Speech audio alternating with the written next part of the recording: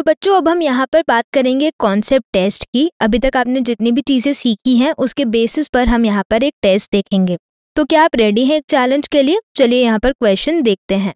हमारा क्वेश्चन ये है which of the following is present in mosses but absent in liverworts A rhizoids B gemmae C leafy gametophyte D spores तो आपको इन चारों option में से एक सही ऑप्शन सेलेक्ट करना है, जिसमें आपको ये बताना है कि कौन सी चीज़ मॉसिस के अंदर तो मिलती है, पर वो लेवर वॉर्ड्स के अंदर एबसेंट होती है। हम यहाँ पर वीडियो को दो मिनट के लिए पॉज करेंगे, ताकि आप इस क्वेश्चन को सॉल्व कर लें और अपना आंसर नोट डाउन कर लें।